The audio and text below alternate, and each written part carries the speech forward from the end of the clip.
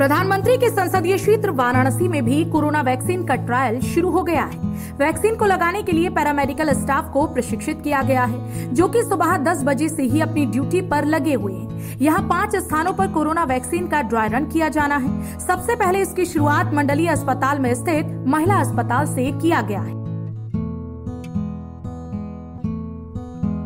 स्वास्थ्य विभाग के सभी आला अधिकारी और पैरामेडिकल स्टाफ महिला अस्पताल सुबह 10 बजे ही पहुँच गया था, जहाँ लगभग साढ़े दस बजे करुणा नाम के व्यक्ति का ड्राई रन शुरू किया गया।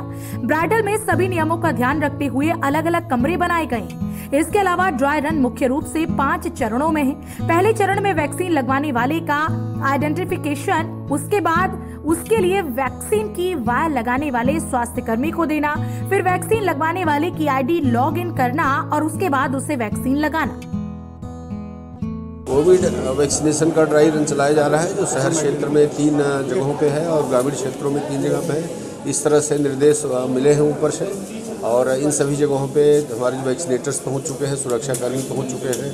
सत्र जो है, सब तैयार हो चुका है, सब जगह चल रहा है। मैं हर जगह की जो है फीडबैक ले लिया है और सब जगह सुचारू रूप से कार्यक्रम चल रहा है। हम लोग को ये बताया गया कि दो वैक्सीनेशन रूम बनाइए, दो ऑब्जर्वेशन रूम बनाइए एक डॉक्टर का रूम बनाइए, दो स्टाफ रेडी रखिए और चेयर्स रखिए सोशल डिस्टेंसिंग मेंटेन करिए और पेशेंट जैसे जिसको भी लगना है, वो दो एट ए टाइम आएँगे, उनको सुई लगेगी, फिर वो आधे घंटे रेस्ट रूम में रहेंगे।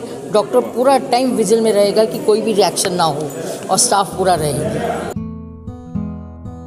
बताया जा रहा है कि वैक्सीनेशन के बाद वैक्सीन लगवाने वाले को एक वैक्सीनेशन कार्ड दिया जाएगा।